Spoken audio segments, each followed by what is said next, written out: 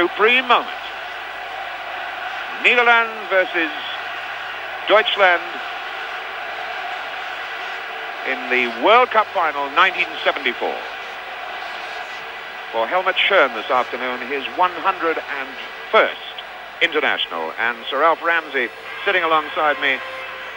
I'm wondering what thoughts might be going through Helmut Schoen's mind at this moment remembering the thoughts that went through your mind back in 1966 at Wembley?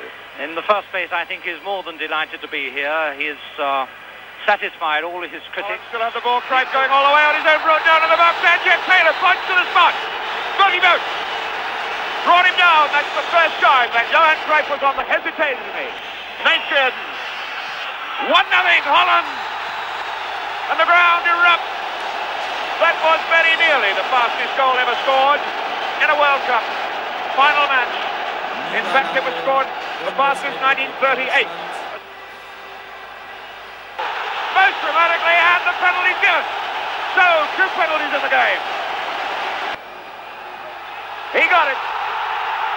And the ground erupts, as in on my watch, the 26th minute. West Germany back in the game from the penalty spot. Breitner's penalty, leveling the one before. Beautifully shot. Olsen by. Way wide. Muller there to support him. Going on his own. Now Muller looks for it. Gets it. Oh, that's the way that little man gets them. That's the way he gets it. Taylor has. End of the game, and West Germany have won the World Cup. There's the man.